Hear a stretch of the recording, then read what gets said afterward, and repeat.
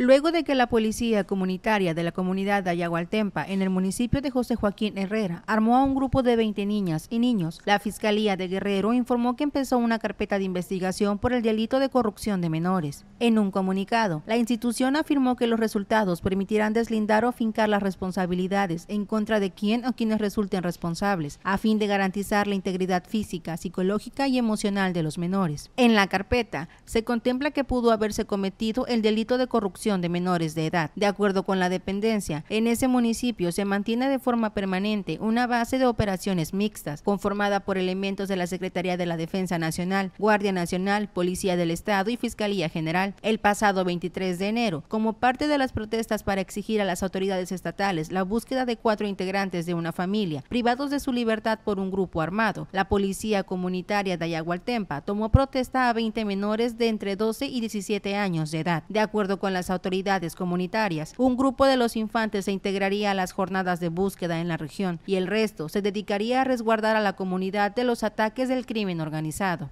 Para N3 Guerrero, Carla Benítez,